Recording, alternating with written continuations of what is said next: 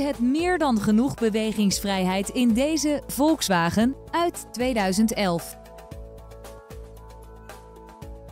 De aandrijving komt voor rekening van een benzinemotor en een handgeschakelde zesversnellingsbak. Neem plaats achter het stuur en verbaas u over het ruimtelijke interieur. U bent dankzij de automatische stabiliteitscontrole en de gordijnairbags achter steeds veilig onderweg. Vanzelfsprekend leveren wij deze auto met BOVAG-garantie.